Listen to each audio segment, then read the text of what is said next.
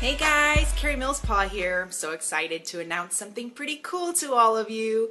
I'm getting ready to launch a four week training program on how to turn your hobbies into a business. You've heard the saying, find what you love to do, find a way to make a living doing what you love to do, and you'll never feel like you've worked a day in your life. Well, guess what? That can be a true reality for you. During my four week program, we're going to do exactly that turn that hobby that you enjoy into a business money making machine. So stay tuned for more details.